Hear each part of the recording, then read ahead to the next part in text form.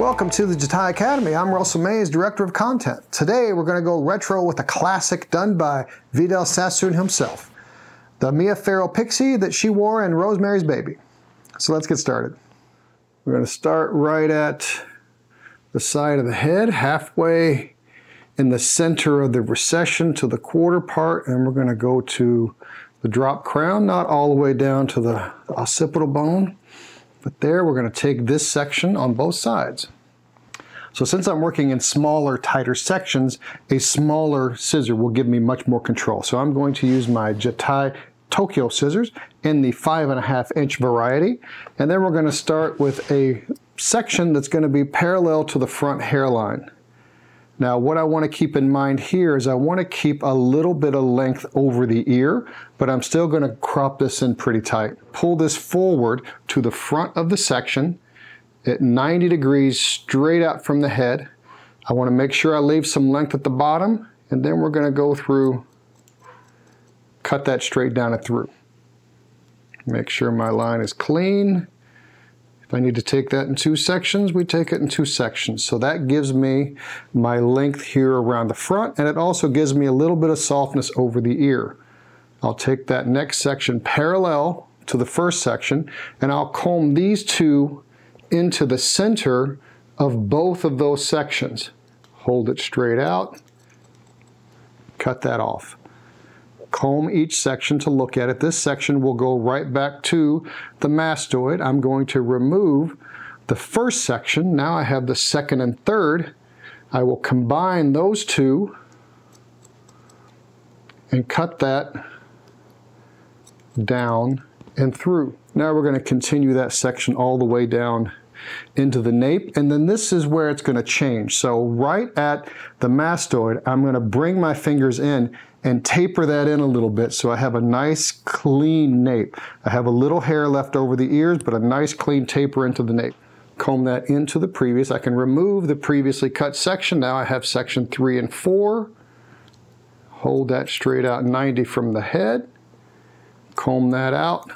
Follow through. Once I hit the mastoid, then I'll change my finger angle and taper this in much tighter. So it's going to be a little longer there, and then it's going to taper in nice and clean right here in the nape. Follow the same guide as I work all the way back into the nape. So I'm going to work this guide all the way through to the center back of the head until I run out of hair.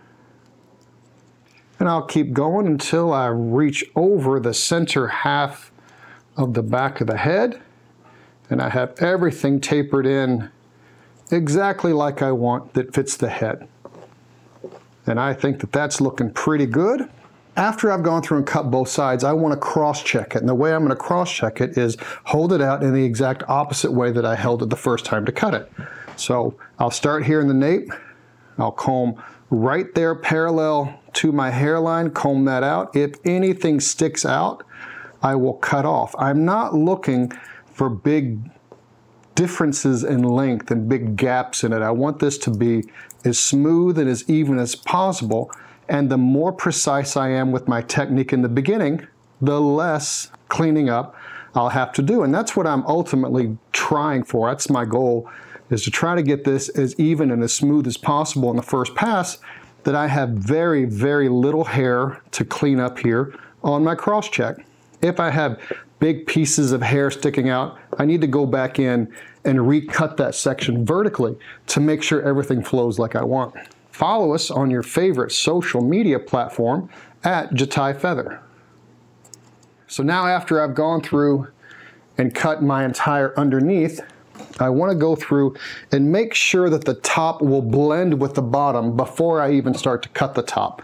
So I'm going to take a parallel section to the previous section that I had where I separated the bottom from the top, comb this down, and exactly like I cross-checked it, that's how I'm gonna cut this. So I'll take a small section from underneath, hold that up and out. There's my guide from underneath. So cross-cutting the entire top just to make sure it blends and doesn't hang over the underneath hair. Now, how much I cut off is all dependent upon how much hair was there previously on top, how longer that is, how much shorter it is, etc. So I'm still continuing to work that through until everything is cut that could hang over. I just find that it's easier for me to cross cut this horizontally than it is to go through and vertically take each section. Because all I'm looking for here is a blend. Check this out. Now we know that everything on the top and the bottom is gonna blend. So let's go through and do the same thing on the other side, make sure that blends, and then we'll cut the top. We got everything looking like we want on the bottom half and the top blends now. So now let's go through and take a center section. Now, a lot of times when I'm doing short hair, I need to make a preference between a round shape or a square shape. Since this is, you know, Mia Farrow and it's a pixie, I want to keep this shape rounder and more feminine. If it's more of a masculine shape, then I may keep it square. So we're going to start with a center section right above the nose. Now I'm going to take this section, pull everything straight up 90 degrees off the head and cut everything the same length from front to back, following the head shape. So I want to keep everything nice and round and soft. Taking a small piece of my guide from my previously cut section and work that down and through into the crown and the nape.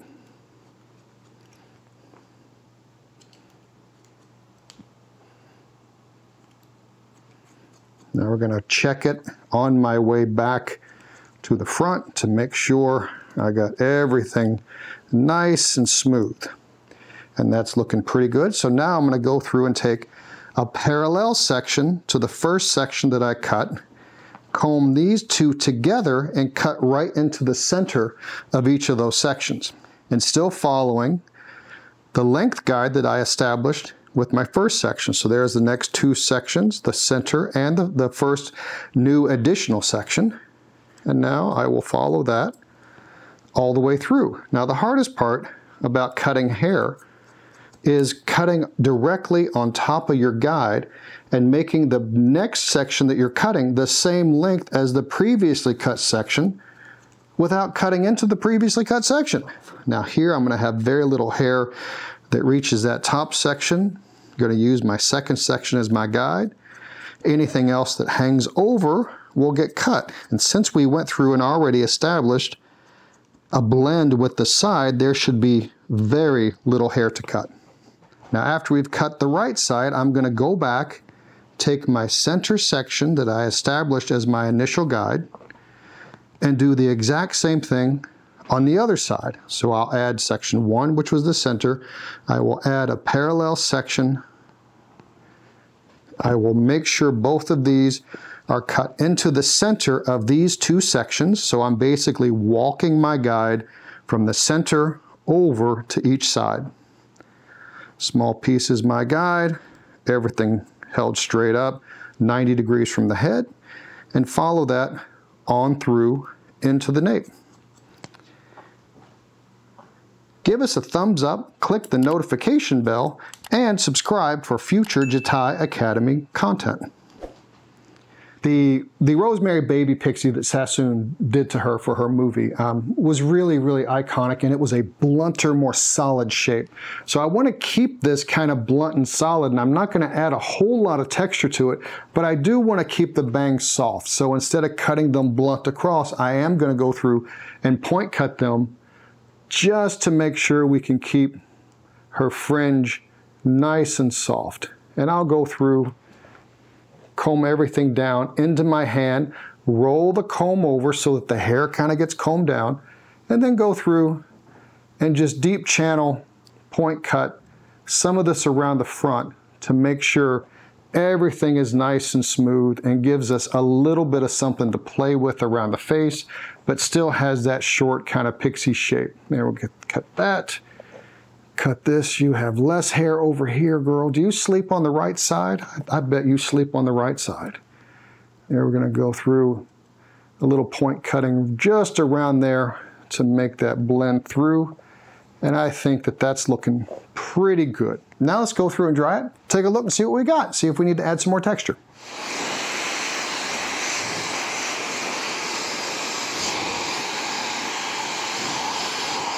Here's our end result. I think we got a, a, really nice solid shape without it being chunky and lumpy.